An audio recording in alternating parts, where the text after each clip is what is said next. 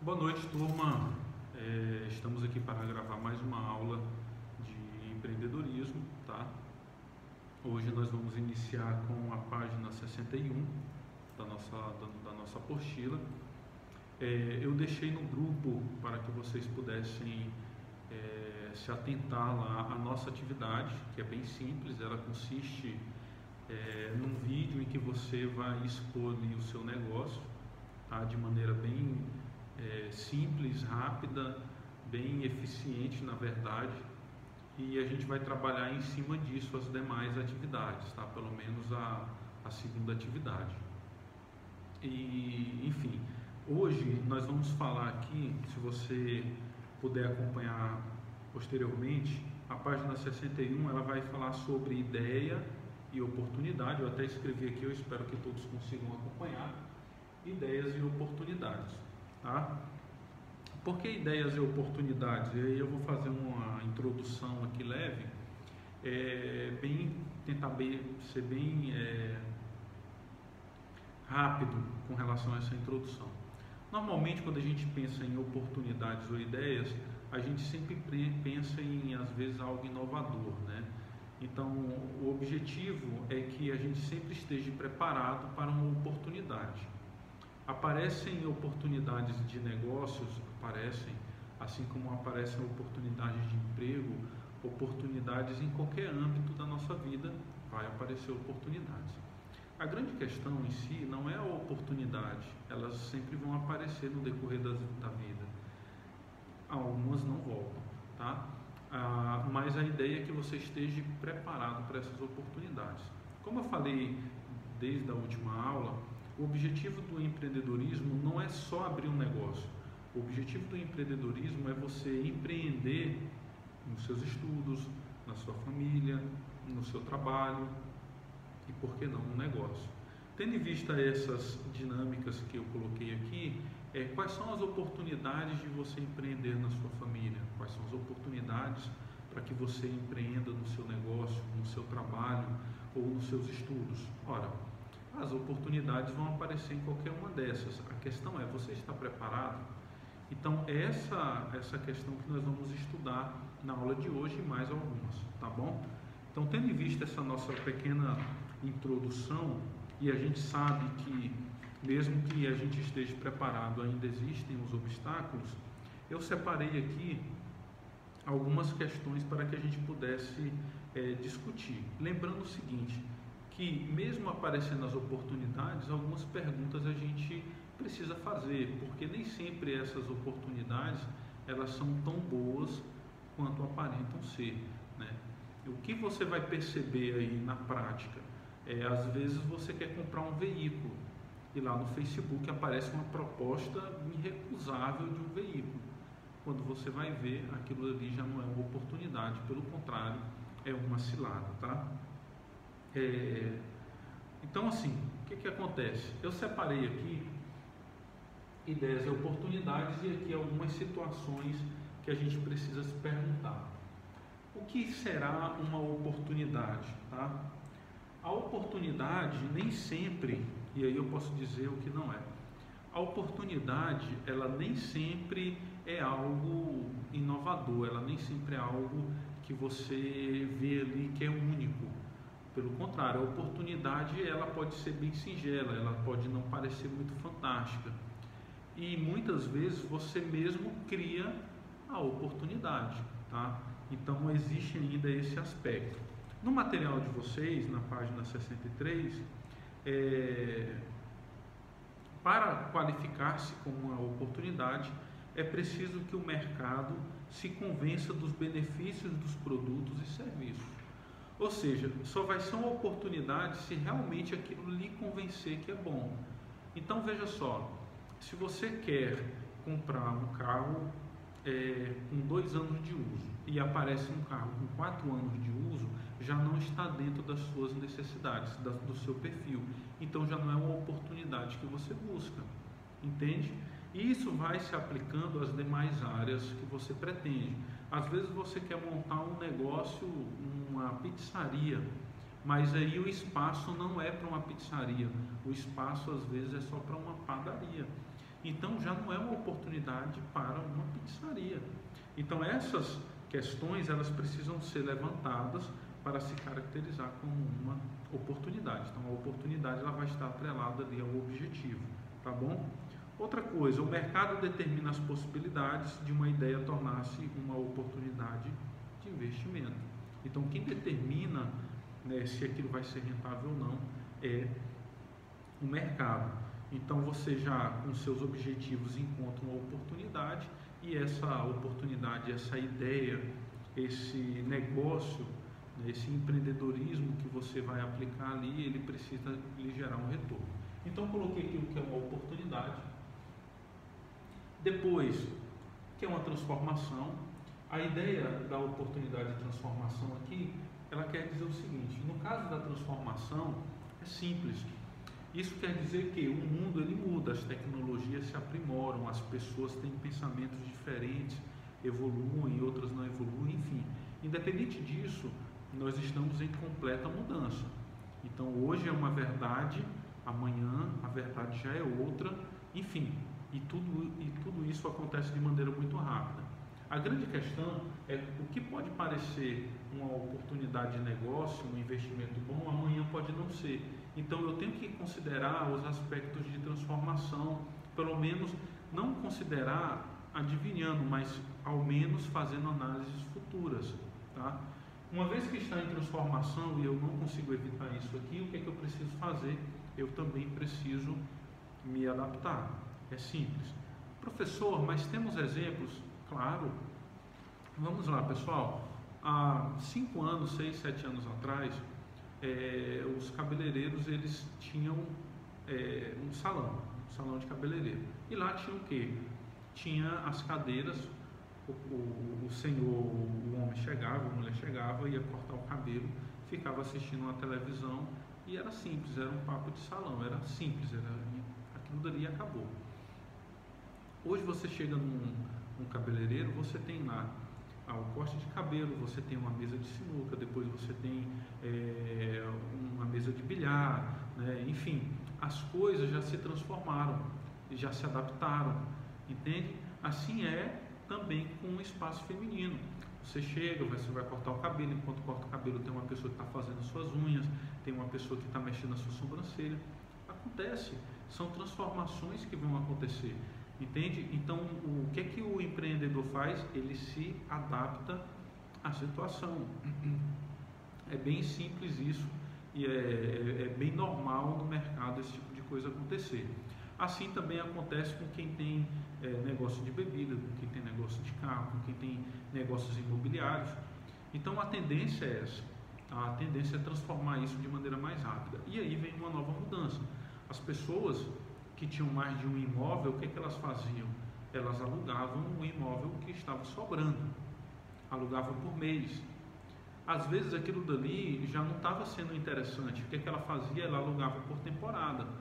Então eu tenho um imóvel muito bem localizado, que fica numa praia, fica perto de um ambiente que as pessoas consideram interessante, então eu vou alugar por temporada.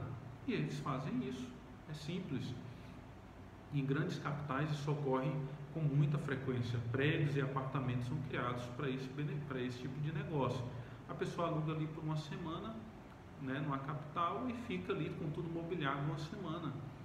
Então as coisas vão se transformando e vão se aprimorando, e a gente precisa, como empreendedor, estarmos preparados para isso. Um exemplo também quentinho aqui é são as nossas aulas. Nossas aulas eram presenciais, devido a uma transformação, devido a uma situação muito negativa, nossas aulas estão sendo online. Existe maneiras de se aprimorar? Sim, existem, mas aí a gente tem essa tecnologia que é a internet que nos ajuda a acompanhar todo esse, esse movimento. E aí também contamos com o apoio de vocês. Uma outra questão relacionada a novas ideias e negócios é a tendência. Eu tenho uma oportunidade depois eu transformo essa oportunidade, essas ideias, elas se transformam no decorrer do tempo. E aí o que seria a tendência? Tendência, turma, é algo que fica, ela não é algo que vem e que passa. A tendência ela é algo contínuo, tá? Então, é, até explicando aqui uma situação, um exemplo de tendência. Energia solar, ela é uma tendência, tá? Ah, professor, energia solar é coisa de gente rica, é coisa que precisa de investimento, ainda é algo muito difícil. Não é. A tendência é que nós é, acabemos aí migrando para energia solar. É uma tendência de mercado. E isso vai se desenvolver até se tornar uma, uma completa necessidade. Tem empresas que já estão no mercado? Tem. Perceba só, se você for no material de construção, mais cedo ou mais tarde você vai ver ali uma, um refletor que é de energia solar. Tá? É uma tendência. Outra tendência é, que são o que eles chamam de inteligência artificial. Isso já tem carros, por exemplo, né? que, que, que carros que andam sozinhos. Então imagina só isso. É uma outra tendência. Então dentro do negócio, às vezes você descobre uma e, e tem uma sacada que transforme o seu negócio em uma tendência, o seu produto em uma tendência, o seu estilo de fazer as coisas em uma tendência. Existem muitas coisas hoje que vão se transformar em tendência, basta a gente pesquisar um pouco, que a gente encontra muitas ideias e muitos negócios. Lavagem de carro. Ah, eu tenho que levar meu carro lá no Lava Jato para poder lavar, não vou nem acompanhar não vai mais acontecer isso. As empresas estão migrando hoje para lhe atender em casa. Então o que, que ele faz? Pega o equipamento dele e lava o carro, o seu carro na sua casa. É uma outra tendência. Muitas coisas acontecem dessa maneira, tá pessoal? Então eu coloquei aqui no quadro, você vai observar, acredito que o foco vai ajudar. Nós temos oportunidade, transformação e tendência. Juntando tudo isso aqui, o que é que eu preciso para mim montar o meu negócio? O que, é que eu preciso para dar continuidade? Estratégia, técnica e ferramenta. Agora eu vou passar para cá e vamos falar sobre estratégia. Tá? O que é estratégia? Dentro da estratégia eu tenho alguns divisores. Estratégia a curto prazo é a primeira, a médio prazo e estratégia a longo prazo. Estratégia a curto prazo são estratégias para resoluções rápidas. Estratégias que vão me ajudar a fazer alguma coisa acontecer em um curto período de tempo. Estratégias a médio prazo são estratégias de um ano ou dois. Estratégias que elas pegam um período de tempo um pouco maior e precisam de um pouco mais de trabalho, de investimento. E as estratégias de longo prazo, que é a terceira, são estratégias que requerem um investimento maior, são estratégias que requerem um tempo maior, uma mudança ao longo do tempo que precisa ser medida, então é algo muito mais minucioso, tá? Então nós temos essas, essa questão da estratégia aqui. Quando você estiver é, pensando no seu negócio, você precisa montar todas as estratégias financeira, de pessoal, de logística, de local, utilizar ali, não sei se vocês já estudaram os quatro P's e ver se a coisa se encaixa. Tudo é estratégia. Até o ponto que você escolhe para montar o seu local, ele precisa ser estratégico. Papelaria, dificilmente você vê uma papelaria que esteja longe de uma escola. Estratégia, tá? Outra coisa, técnica. E essa questão da técnica, ela é bem interessante, ela é um pouco polêmica Professor, mas para mim ter técnica, eu não preciso, às vezes eu quero montar um negócio, mas eu não sei fazer na prática, mas é algo que eu quero montar. Eu não tenho uma técnica. É verdade, você não tem a técnica. E aí? Você quer montar uma padaria, mas não sabe fazer pão? Como é que faz agora? É uma boa pergunta. Veja só, o fato de você não saber sobre fazer pão não quer dizer que você não saiba gerir um negócio. Tá? Então a ideia é a seguinte: a ideia é você estudar ao máximo sobre o negócio, não estudar ao máximo como fazer as coisas. Tem um detalhe aqui: a maioria das empresas que se formam são de pessoas técnicas. Por exemplo, o cara ele mexe com, ele trabalha numa empresa que mexe com manutenção de ar condicionado. Ele chega lá, ele aprende muita coisa e de repente na cabeça dele ele se pergunta: por que, que eu tenho que trabalhar para uma pessoa se eu posso montar o meu próprio negócio? porque eu sei fazer, eu tenho uma técnica.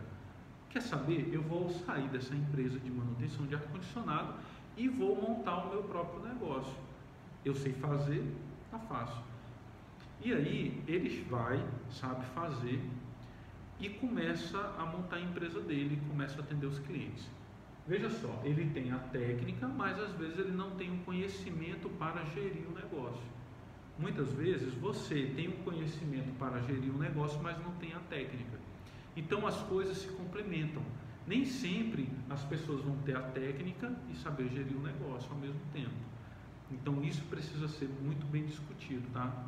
Uma coisa não tem nada a ver com a outra. Tanto o técnico quanto o não técnico conseguem montar um negócio, mas precisa ter conhecimento. Então tem aqui a técnica porque ele é um ponto importante a ser discutido.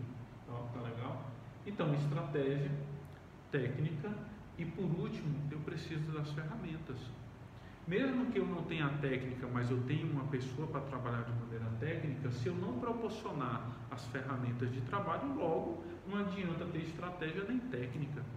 Né? Então veja, tudo isso precisa ser pensado no momento que você for montar um negócio, porque se você não tiver essa visão geral do seu negócio, de todos os aspectos, né, de maneira estratégica falando, você não vai dominar ali as eventualidades que vão acontecer. Então, de repente, você vai inaugurar o seu negócio, mas vai faltar um detalhe importante e você vai precisar sair correndo para poder adquirir, às vezes, de uma maneira que está fora da sua estratégia ou fora do seu orçamento.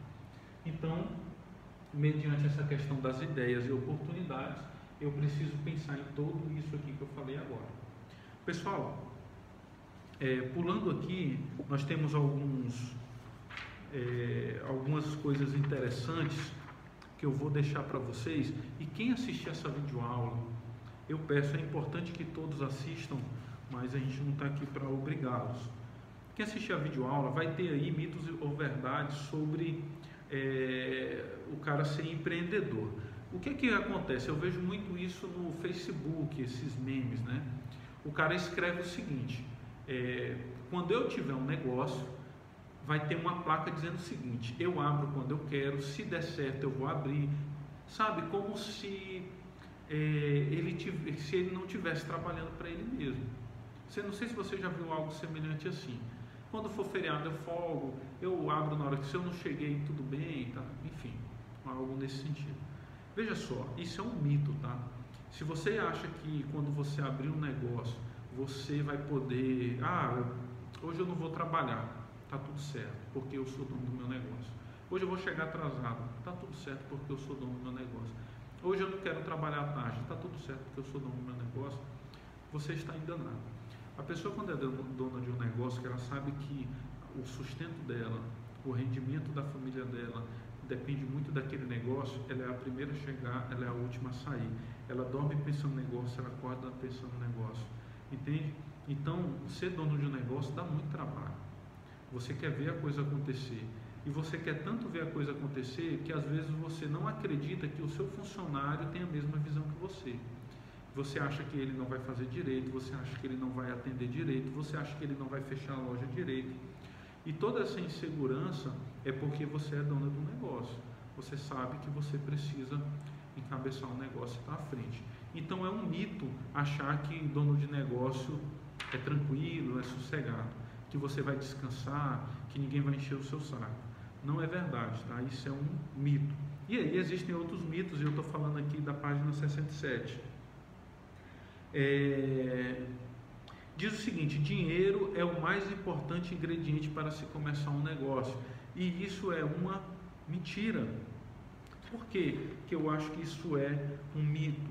Você pode ter todo o dinheiro e empregar o seu dinheiro, mas se você não fez todo esse trabalho antes, você vai jogar dinheiro fora, tá? Então é necessário ter a visão do negócio. Então você pode ter pouco dinheiro, iniciar o seu negócio e depois conquistar grandes coisas. Há exemplo de Silvio Santos, que era um camelô, tá? Há exemplos de, do próprio Walt Disney, que faliu várias vezes, teve uma história bem interessante tem vários percalços até se tornar o dono da Walt Disney, é um cara muito rico, e dentre outros que começaram do zero com pouca grana e conseguiram é, ter, ser grande empresa, né? Então é um mito você achar que precisa ter muita grana para montar um negócio. Pouca grana já ajuda, tá?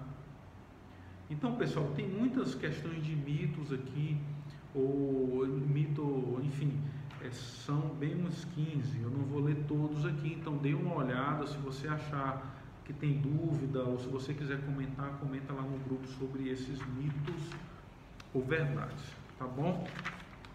E agora, é, eu vou falar um pouco aqui sobre a questão das empresas e como é que elas funcionam. E eu vou fazer também um pequeno introdutório. Eu deixei aqui no vídeo, eu não sei se você vai conseguir enxergar, deixa eu tentar. Aqui, ó. Veja só. Aqui, pessoal, é indústria, tá? Indústria, comércio e serviço.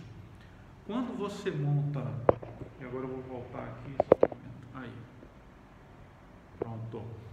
Quando você monta um negócio, você vai lá e vai dizer o seguinte: olha, é, eu vou trabalhar com fabricação de sandálias.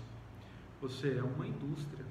Ah, eu vou prestar serviço de limpeza, eu vou trabalhar com limpeza, serviço, eu vou ser cabeleireira, serviço, vou ser babá, serviço. Ah, o que, que seria comércio? Eu vou vender, revender alguma coisa. Você é um comércio, tá bom? Então veja só, nós temos aí, é, pode mesclar? Pode, mas a maioria, a maior parte das nossas empresas, elas são divididas nessas três etapas. Nós temos a indústria, o comércio e o serviço, e nós temos uma outra que está surgindo aí, que é a parte de tecnologia, mas isso a gente pode discutir depois. Então, no nosso material, nós temos alguns dados que são bastante interessantes e eu gostaria de repassar aqui para vocês algo interessante. É, segundo o IBGE, está em 2006, respondem por mais de 90% das empresas industriais brasileiras. Né, dessas 90%, 90% dessas empresas brasileiras, menos de 15% da produção industrial. Ou seja, 90% das empresas que são indústrias no Brasil, elas produzem só 15%. Os outros 10% das indústrias, elas produzem os outros 85%. Não sei se vocês entenderam aí. Então, nós temos vários dados a partir da página 74 que fala sobre é, a representatividade no contexto econômico mundial, enfim. E é um, um dado bem interessante, tá? muito bacana mesmo. Nós vamos é, falar depois um pouco mais sobre essa questão. Eu vou mandar um material para vocês, extra, um áudio, falando sobre essa parte de indústria, comércio e serviço. Tá? É algo bastante interessante realmente. É, nós temos aqui também na página 77 algo sobre logística. Veja só, pessoal, vou ajustar aqui.